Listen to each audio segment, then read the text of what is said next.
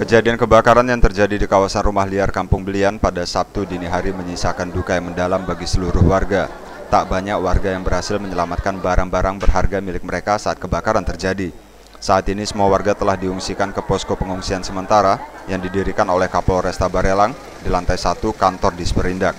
Terlihat beberapa ibu-ibu yang menjadi korban kebakaran hanya bisa menangis setelah melihat kondisi rumah mereka hangus terbakar. Ya, pastinya jam 3 lewat lah gitu. Ulangi, ulangi. Gimana, gimana tadi Pak? Jam 3 lewat yang kebakaran. Tapi nggak tahu posisi api dari mana, tapi api itu sebenarnya di seng. Hmm, yang kami tahu.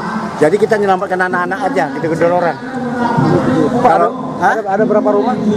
Ya kalau pertama yang kita dua terbakar udah empat rumah, Pak. Hah? sampai Ah. sekarang totalnya berapa? Berapa? Ya kalau rumah ini banyak lah, 300 lebih lah. Nah, Bantuan untuk korban kebakaran pun mulai berdatangan di posko kebakaran yang telah didirikan. Saat ini warga korban kebakaran hanya bisa berharap pemerintah kota Batam bisa memberikan solusi dan bantuan bagi ratusan warga kampung Belian yang menjadi korban kebakaran. Tim Liputan Diamond TV melaporkan dari Batam, Kepulauan Riau.